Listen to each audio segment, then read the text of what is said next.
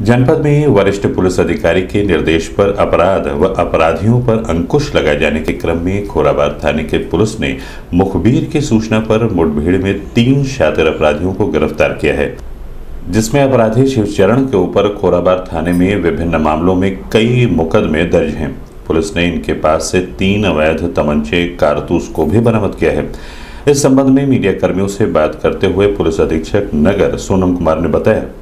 आज दिनांक उनतीस पाँच दो हज़ार इक्कीस को सुबह साढ़े नौ बजे मुखबिर की सूचना पर प्रभारी निरीक्षक पुराबार और उनकी टीम ने जंगल राग नपना दुर्गा मंदिर के पास से तीन अपराधियों को गिरफ़्तार किया है। इनके नाम है Vijay Rajbhar son of Chandrabhan Rajbhar, Dharmendra Nishad son of Shri Ram Nishad और शिव शरण है पुत्र छेरी इनके पास से तीन अदद अवैध तमंचा 315 बोर।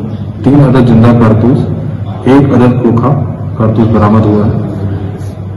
पूछताछ के बाद ये पता चला कि ये लोग ही वो थे जिन्होंने कुछ दिन पहले फ़ोटो खींचकर और वीडियो बनाकर तमंचे के साथ वायरल किया था।